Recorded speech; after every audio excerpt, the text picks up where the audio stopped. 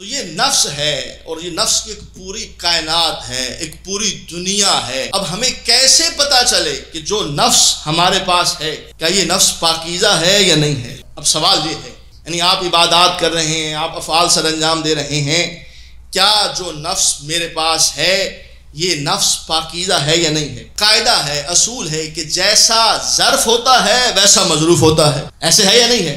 जैसा ज़र्फ होगा, वैसे ही उसका मजरूफ होगा। अगर तो ये जो नफ्स आपके और मेरे पास है, अगर ये पाकिज़ा है तो उस पर खुदा का शुक्र अदा करना चाहिए कि परवरदिगार, तेरा शुक्र है, तेरा करम है कि जो तूने मुझे नफ्स अदा किया है, ये पाको पाकिज़ा है। पता कैसे चले? कैसे पता चले कि नफ्स? अगर जहन में ख्यालात अच्छे आए तो समझ लीजिए नफ्स पाकिज़ा है। और अगर जहन में ख्यालात अच्छे ना आए तो इसका मतलब क्या है? यानी जो बार बार वसवसे आते हैं, कभी किसी के बारे में दिल में बुग्ज पैदा हो गया, कभी किसी के बारे में अब मैंने उसका, उसको छोड़ना नहीं है। यानी जो बार बार जहन में ख्यालात आ रहे हैं, अगर भलाई के ख्याल आ रहे हैं, मिसाल के तौर पर किसी ने बुरा किया, आपने उसे हुसैन के नाम पर माफ़ कर दिया। इसका मतलब है नफ्स पाक है। जो मुसलसल आपको अच्छाई की तरफ़ मजबूर कर रहा है और ये सीरत, अगर सही मानों में इंसान सीरत, आका अबाब्दिल्ला पर चले तो फिर नतीजा यही होगा कि नफ्स पाकिज़ा रहेगा। और अगर नफ्स पाकिज़ा नहीं रहेगा, मैं एक छोटी सी और मिसाल देता मिसाल के तौर पर किसी साहब को कोई हाजत पेश आ गई, मकरूज हो गया कोई शख्स। अब आपको फ़ोन किया या मुझे फ़ोन कर लिया, चले, मैं अपनी मिसाल दे देता हूँ ताकि कोई मोमिन नाराज़ ना हो। मुझे फ़ोन किया कि मौलाना, मुझे पाँच सौ डॉलर चाहिए। मैंने कहा, ठीक है, आ जाए। जो मुझसे हो सकेगा, मैं इंशाल्लाह आपकी खिदमत करूँगा। अब मेरे पास 500 है, मगर मैंने 500 की बजाय 250 दे दिया। क्या सोच के, कि चले 250 मैं देता हूँ 250 किसी और से जाके ले ले। थोड़ी मेरी भी बचत हो जाएगी। इसका काम भी हो जाएगा इनशाला थोड़ी और मजीद कोशिश करेगा। अगर नफ्स सही मानों में पाकिजा होता, सही मानों में पाकिजा होता तो उस पाकिजा नफ्स का यह तकाजा था कि उसकी मुकम्मल हाजत रवाई की जाती। और फरमा रहे एक रिवायत है, बल्कि हमारे पास एक साया, सायल आया इमाम हुसैन अलैहिस्सलाम के पास। यानी यूँ कह लीजिए कि एक सायल आया नफ्स मुतमना के पास। उसने आकर कहा, मौला अपना रसूल अल्लाह मैं मकरूज हो गया हूँ, मुझे एक हज़ार दिरहम चाहिए। इमाम ने कहा, ठीक है, ठहरो। इमाम अंदर तशरीफ़ ले गए, एक हज़ार दिरहम। पर्दे के दरमियान में पर्दा हाथ आगे बढ़ाया और एक हज़ार दिरहम उसे दे दिए। अब बाद में साइल ने पूछा कि मौला, जब आप दे रहे थे तो सामने आकर क्यों नहीं दिए? ये किरदार अहल बैत है, ये नफ्स मुतमना का किरदार है। सामने आकर कहा, इसलिए कि तुम्हारी नज़रों में जो आबरू थी, अगर देते हुए सामने देख कर देता तो मुमकिन है उस आबरू पर कुछ हर्फ आ जाता। इसलिए आका हुसैन ने पर्दे के पीछे से एक हज़ार दिरहम उसे दे दिए।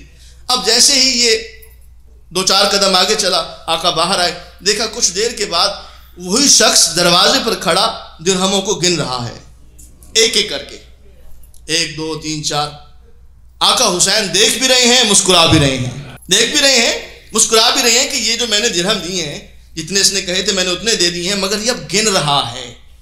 सरकार, अबा अब्दुल्ला पूछते हैं कि तुम गिन ऐसे रहे हो जैसे मैं तुम्हारा मकरूज था। तो है आका ये रिवायत के जुमले हैं। मौला फरमाते हैं, आप इस तरह से गिन रहे हैं जैसे मैं आपका मकरूज था एक एक कहा, मौला, इसलिए गिन रहा हूँ कि मैंने अपनी आबरू आपके हाथ में दी है। अल्लाह अकबर। यकीनन मुहिबान अहल बैत में से था, साहिब मार्फत था। कहा, मौला, अपनी आबरू आपके हाथ में दी है, अब उस आबरू की कीमत गिन रहा हूँ।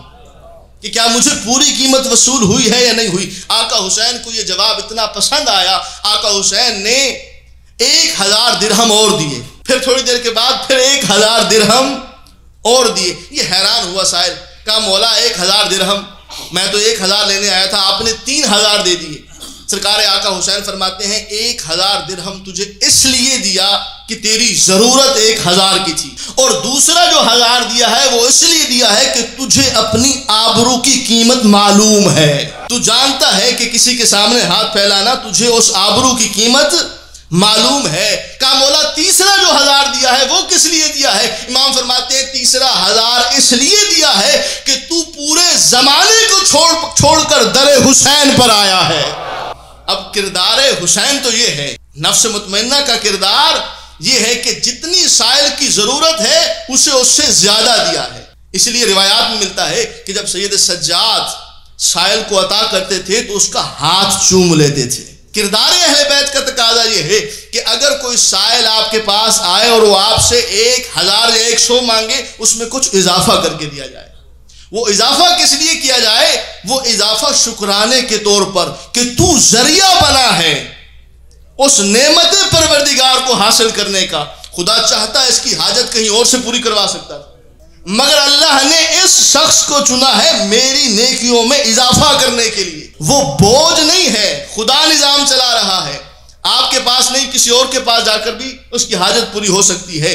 अगर किरदार, अगर सही मानों में नफ्स पाकिजा होगा तो फिर किरदार इस तरह से होगा। अगर नफ्स पाकिजा होगा तो फिर इस तरह से किरदार सामने आएगा। और अगर नफ्स पाकिजा नहीं होगा तो फिर उसे किसी और का मोहताज कर दिया जाएगा, उसे उसके हाल पर छोड़ दिया जाएगा।